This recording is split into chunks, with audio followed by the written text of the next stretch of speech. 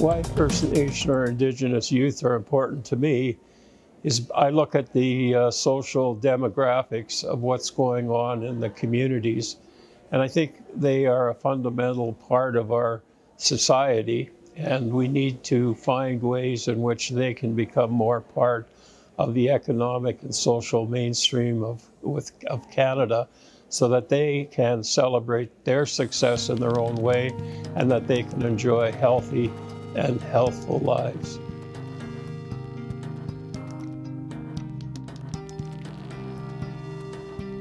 As a society really come to come up to terms with this truth and reconciliation and part of that is the truth. And we're actually still learning truth. We're not done with the truth. We're still um, at this place of learning.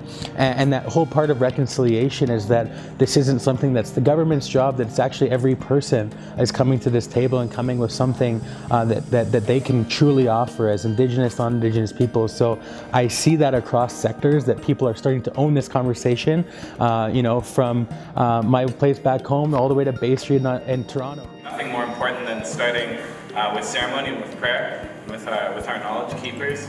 So what I'm going to ask of you is to share your name, introduce yourself, uh, tell us where you're from, um, anything else you want to uh, uh share um, uh, with the group, and then, and then as well reflect on maybe one thing um, or something that has allowed you to be successful through my educational career, I've had many, many people who've helped guide me along the way. I also had um, a lot of support from my family, uh, specifically from my home community of Cote First Nation, uh, a family that uh, really knew and valued uh, the education that I was putting in to uh, go back and get my degree. And uh, it was without, without their support, I wouldn't have been able to finish my degree when I did, you know, while also supporting my family with two kids. Understanding my history and how that has impacted me kind of just awoke things in me. I'm not afraid to say that I'm proud of where I come from now. I have more confidence in myself. And I know that there are generations and generations of family that stand with me right now in this moment. Right from the beginning, getting the support at home, um, having it not be an option to go to school. You had to go to school, no matter what. Um, and that goes a long way um, growing up with that attitude of having to show up. 98% is showing up. So um, that is a foundation of uh, how I was able to succeed. I have a very early memory of a teacher when I had first gone to university and it was my first year and in front of my entire class he said, no one will ever want to know your experience as an Indigenous person.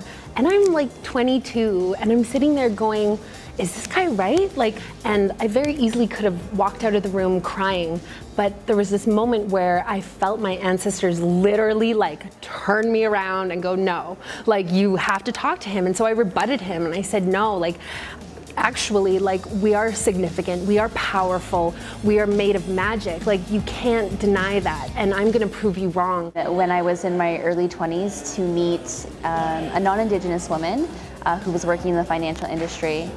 Um, she grew up close to a reservation and had an affinity to it.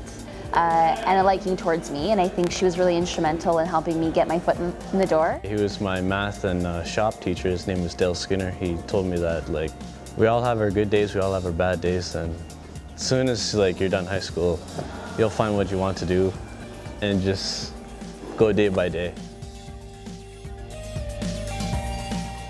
So to me, a good life. Well, when I think about that phrase, I think about the Cree word, Miyo-pimatisiwin.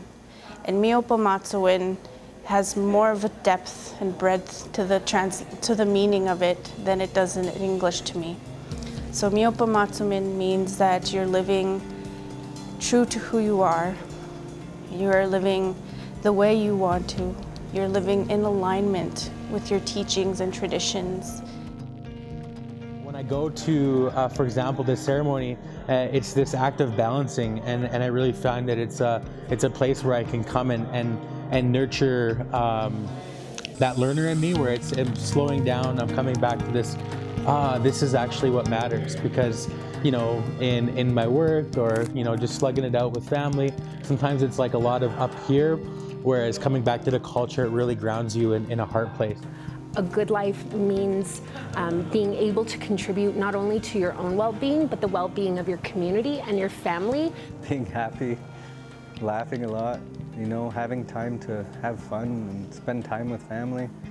Because a lot of the times that's where I learn the most is hanging around with family, hanging around with my grandmother. I think having a good life is when our spiritual and our physical and our emotional are all healthy. Just as long as you're doing something that you love to do. Indigenous youth is everything!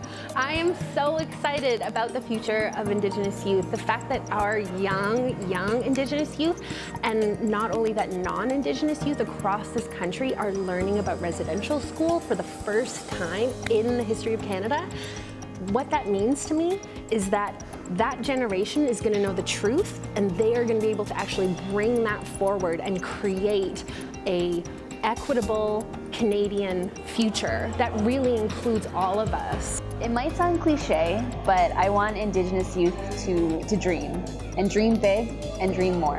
There's people that are coming together and saying, you know, this is something that we can champion and work together uh, and, and ensure that um, Indigenous youth from all over the country uh, can prosper and can have a good future. Especially in high school, I was very like, even ashamed to be Inuk and I never want anybody to go through that again. So part of why we do Hinani is that's why we're trying to celebrate the Inuit culture so much and get pride in people. That would get more stuff going on in our community and a lot of youth get to travel, like what I get got to do. I got to go to Encounters with Canada when I was 16. Yeah, and it, was fun. I, like I think about the one plus generations after us. I really want them to be able to feel confident about their ancestry, their tie to this land or whatever land or peoples they've come from. It's important to, that's a huge context of setting like who you are. One of the pillars of my term of office is to seek and work on reconciliation and Indigenous culture. And to me, the events like today are so important to furthering those goals and assisting me in trying to achieve some of the work that I want to do.